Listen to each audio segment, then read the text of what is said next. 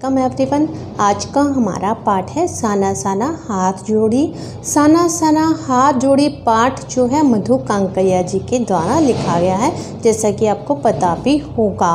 यहाँ पर उनकी हिमालय यात्रा का बहुत ही सुंदर शब्दों में चित्रण किया गया है। और वो शहर की भागम भाग ज़िंदगी से थक चुकी थी और इसलिए उन्होंने सोचा कि कहीं दूर स्थानों की यात्रा की जाए, जिससे उनकी ये मानसिक थकान जो है वो थोड़ी कम हो जाए। और उनका सोचना था कि यात्राओं से मनोरंजन होता है, ज्ञान की वृद्धि होती है, अज्ञात स्थानों के बारे में पता चलता है। साथ ही हमें अलग अलग संस्कृतियों के बारे में जानकारी भी प्राप्त जब लेखिका शहरी जीवन से ऊब जाती हैं तो वो स्थान स्थान पर यात्रा करने चल पड़ती हैं और यहाँ पर उन्हीं यात्राओं का उन्होंने मनोरंजक वर्णन किया है। लेखिका गंगटोक शहर में तारों से भरे आसमान को देख रही थी। जब वो सिक्किम में जाती हैं, गंगटोक में जाती हैं तो रात का समय जो होता है, उस समय पर वो तारों से भरे हुए आसमान को देखती हैं। उस रात में इतना सम्मोहन था, सम्मोहन यानी वो रात बिल्कुल उसे सम्मोहित कर रही थी और वो उस रात में खो जाती है। इतना खो जाती है कि उसकी आत्मा जो है वो बिल्कुल भावना शून्य हो जाती है। उसमें कोई भी भाव ही नहीं रहते हैं। और वह धीमे धीमे स्वर में, नेपाली भाषा में सुबह सुबह की प्रेयर करने लग जाती है और उन, उस दिन उनको सुबह युमथांग के लिए जाना था। मौसम साफ़ था, फिर भी हल्के हल्के बादल जो थे, वो छाए हुए थे। लेकिन यहाँ पर लेखिका को कंचनजंगा चोटी दिखाई नहीं दी। कंचनजंगा पर्वत की एक चोटी है, जिसे देखना वो चाहते थे, लेकिन दिखाई नहीं दिया था। युमथांग गंगटोक से एक सौ उनचास किलोमीटर की दूरी पर था। और उन लोगों का जो गाइड था, जिसका नाम जीतेन नार्गे था, वो जो है, उसे दिखाने के लिए ले जा रहा था और युमथांग का रास्ता जो था, उसमें घाटियों में फूल भरे हुए थे। रास्ते में उन्हें हर स्थान पर बौद्ध पताकाएँ दिखाई दी, जिनका कलर सफ़ेद था वाइट था। और ये पताकाएँ अहिंसा की प्रतीक थी, शांति की प्रतीक थी। यहाँ पर जितेन नार्गे लेखिका को ये बताता है कि ये पताकाएँ तब लगाई जाती हैं जब कोई बुद्धिस्ट की मृत्यु हो जाती है। दलाई लामा की फ़ोटो भी उसने अपनी गाड़ी में लगा रखी थी और उसने लेखिका को वह स्थान भी दिखाया जहाँ पर गाइड फ़िल्म की शूटिंग हुई थी। रास्ते में उन्होंने एक घूमता हुआ चक्र देखा। उसका नाम धर्म चक्र था। वहाँ के रहने वाले ये मानते हैं कि अगर इस चक्र को घुमाया जाए तो उसके सारे पाप धुल जाते हैं। लेखिका को लगता है कि सभी जगह के आस्थाएँ, विश्वास, अंधविश्वास या पाप पुण्य सब एक जैसे ही हैं। कुछ लोग ऊंचाई बढ़ने पर जो उनका, जो वो ऊँचे रास्तों पर जा रहे थे तो वहाँ पर बाज़ार और लोग आदि दिखाई देना कम हो गए थे।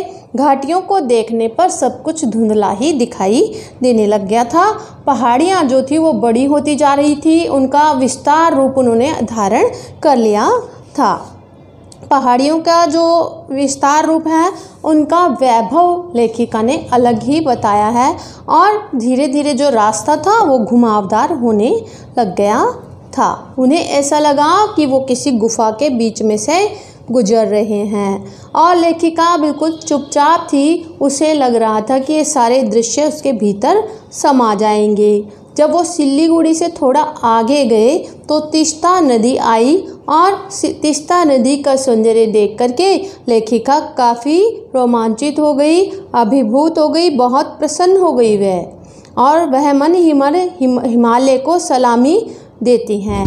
उनकी जीप जो है रास्ते में जब उन्हें तिस्ता नदी दिखाई दे रही थी तो वो उसकी सुंदरता को कैमरे में कैद करने लग जाते हैं। वहाँ पर सेवन सिस्टर्स वाटरफॉल पर जा कर के उनकी जीप रुकती है।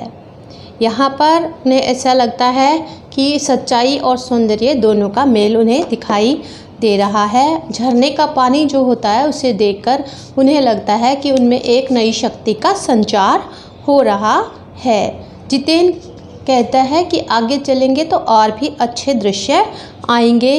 तब उसे ऐसा लग रहा है कि कोई जादू की छड़ी घुमा रहा हो।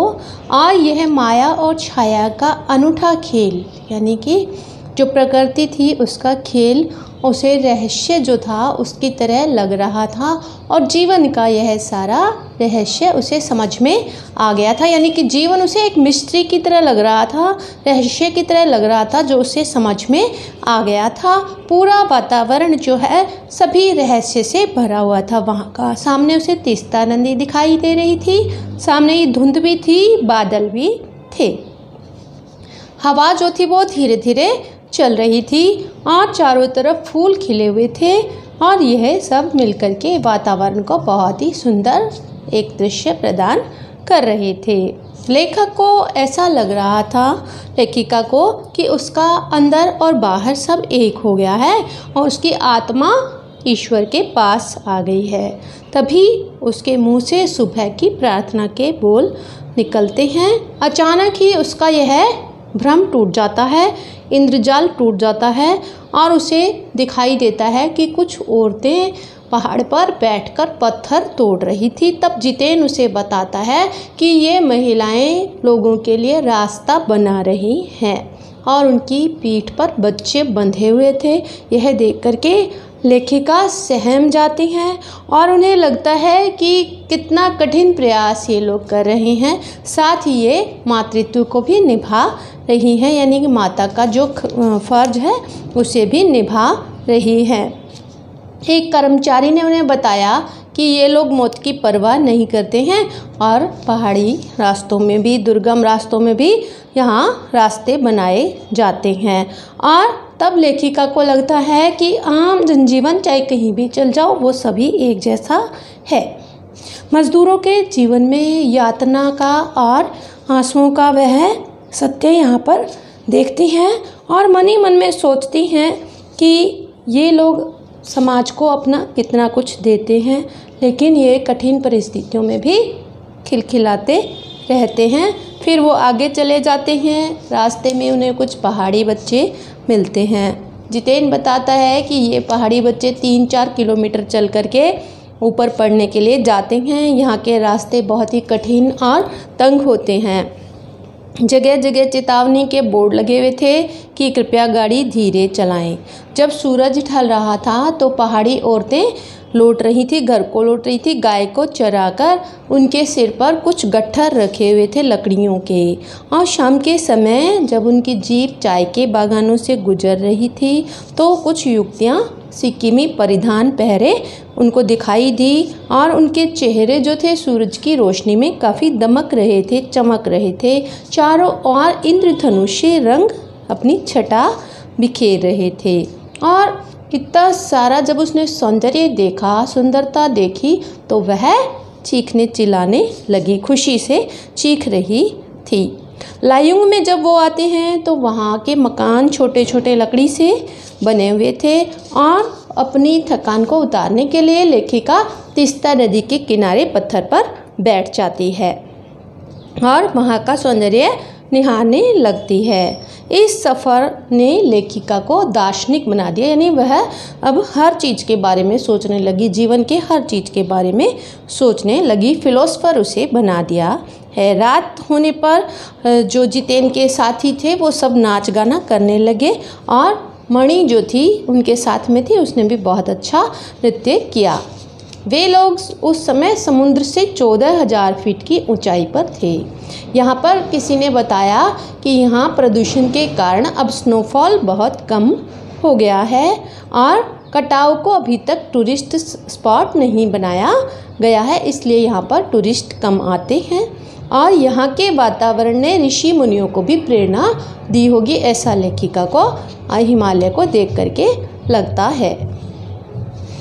थोड़ा आगे जाने पर उन्हें फौजी छावनियाँ दिखाई देती हैं और थोड़ी ही दूर पर चीन की सीमा थी। वहाँ पर उन्होंने देखा कि फौजी किस प्रकार से कड़कड़ाती ठंड में बहुत सारी कठिनाइयों को सहन करते हुए हमारी सीमाओं की रक्षा करते हैं। और तब उन्होंने सोचा कि भाई वैसाख में जब ये हाल है, इस महीने में जब ये हाल है तो बहुत ज़्यादा नवंबर, दिसंबर, जनवरी की ठंड में ये कैसे रहते होंगे। वहाँ जाने का रास्ता भी बड़ा खतरनाक था और तब उसने सोचा कि ये अपने सब सुख त्याग करके हमारे सुखों के लिए काम करते हैं। थोड़ा आगे जाने पर युमथांग की सारी जो घाटियाँ थी, वो प्रियुता और रोडो के फूलों से भरी हुई थी। काफ़ी तरह के वहाँ पर फ्लावर्स लगे हुए थे। जितेन ने रास्ते में बताया कि यहाँ पर बंदर का मांस खाया जाता है। बंदर का मांस खाने से कैंसर नहीं होता, ये उनका विश्वास है। उसने आगे बताया कि कुत्ते का मांस भी खाया हुआ है, लेकिन लेखिका को उसकी बातों पर विश्वास नहीं होता है। लोगों को सुअर का दूध पीते हुए देखा है, उसने यह भी बताया। युमथांग वापस आकर उन्हें बड़ा बुरा लग रहा था।